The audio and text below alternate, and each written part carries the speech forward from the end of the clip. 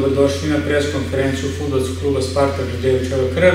Današnja tema je utakmica 14. kola Super Lige Srbije između Futbolskog kluba Spartak Ždevčeva krv i Futbolskog kluba Zemun, koja je na programu u sredu 31.10.2018. sa početkom u 13 časova. Nešto više o tome reći jedan šef slušnog štaba Predrag Rogan i prvo timac Nemanja Glavčić. Dobar dan. Evo četvrta utakmica u vrlo kratkom periodu, posle napadnih utakmica protiv Partizana u kupu Mačve, u nedelju u Lučanima. Očekujem da moji momci još jednom pokažu i potvrde dobre igre, dobro zalaganje iz prethodnih utakmica i neko kaže da nam je ovo ključna utakmica u nekom ovaj, daljoj borbi za gornji deo tabele.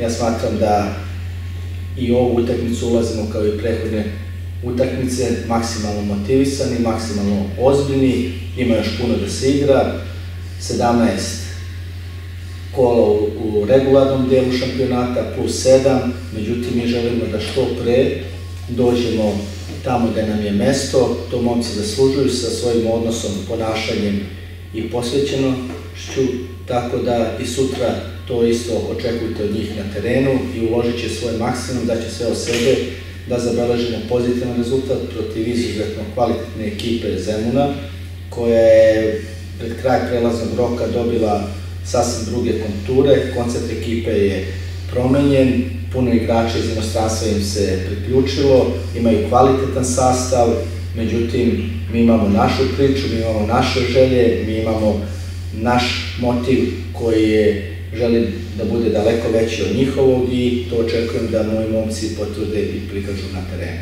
Hvala. Pre svega dobar dan. Ništa za nas je jedna veoma teška utakmica i teško gostovanje u Lučanima. Utakmica gde je izgubljena u nadoknadi vremena, ali utakmica koja je pokazala da ova mlada ekipa ima kvalitet, da ima karakter pre svega, što će pokazati narodnoj utakmici koje je sutra na programu.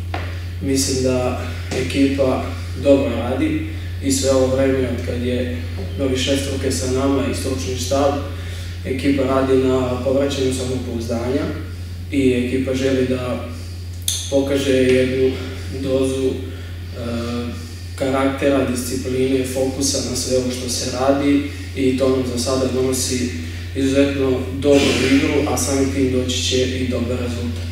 Imamo ispred nas jednu kvalitetnu ekipu koja je sastavljena, kao što je šef rekao, od izuzetno iskusnih i dobrih pojedinaca, ali naravno mi se osvrćemo samo na nas, na naš kolektiv, gde će, gde će ova utakmica pokazati da možemo da se nosimo i sa pritiskom i sa utakmicama kao što su ove, gde je borba za, za gori život, što se kaže. Dragane, ja bih da pitam, eto, posle letošnje Evrope, Spartak je opet ušao u seriju igranja sreda nedelja, sreda nedelja. A, koliko je bilo prostora da se ekipa opusti, pripremi za ovu sutrašnju utakmicu i koliko će povrede uticati na izbor igrača? Pa ovako, u našem poslu nema izgovora, niti sme da bude izgovora. Opredelili smo se za ovaj posao kako ja, tako i moji momci. On da kažem, niko nas nije telo, jeste da smo se vratili iz Lučana u ponedeljak u 3 ujutru, da praktično juče nismo ni imali mogućnosti za neki ozbiljniji trening, već danas je pripremni trening za utakmicu. Međutim, ono što momci treba da u sebi nose, to je želja za dokazivanje povređeni igrači, šta je tu je, imamo, imamo dva igrača koja više nisu s nama, imamo pet povređenih igrača, oni još uvek nisu u opticaju da se nađu u konkurenciji, to nam smanjuje mogućnost za neke uslovno rečeno rotacije, pa samim tim od Partizana preko Kupa i Lučana momci su izveli maksimalno koliko su mogli sa smanjenim rotacijama, međutim ima u nama još energije, za ovaj period, za ove naredne dve utakmice, prvo za sutrašnju i to momci u sebi drže, imaju i to će da pokažu sutra. Glavčiću, vreme nekako ide u prilog futbolu, čini mi se da će sutra, zbog ovih kišica, glavni zadatak pasti na igrače koji imaju dobar šut. Dakle, junaci ili pokojnici mogu biti golmani. Šta predviđaš, ko ima bolje šutere? Slažem se sa vama, činjenica da do šuta nema gola.